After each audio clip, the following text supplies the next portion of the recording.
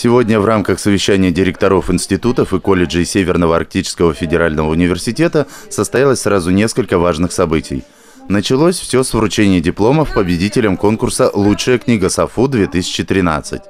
Позитивные изменения, связанные с книгоиздательской и полиграфической деятельностью университета, произошедшие за последнее время, говорят о том, насколько актуальными, качественными и наукоемкими являются работы, которые публикуются издательским домом САФУ.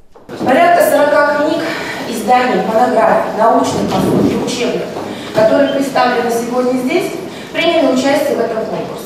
В семи номинациях дипломами и сертификатами были награждены авторы и научные коллективы, выпустившие в прошедшем году справочные издания и книги гуманитарной, естественно-научной, технической и историко-культурной направленности.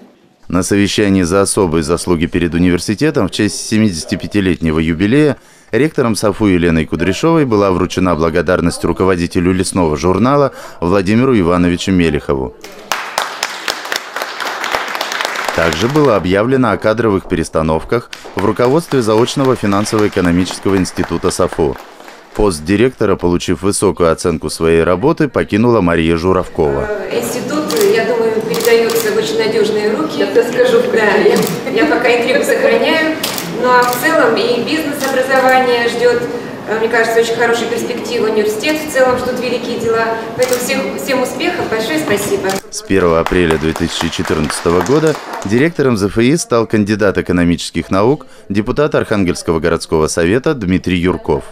Прошу любить и жаловать, Дмитрий Васильевич. Так что он становится равноправным членом директорского коллектива. Алексей Макеев, Петр Меньшиков, Артем Юдин, медиацентр САФУ «Арктический мост».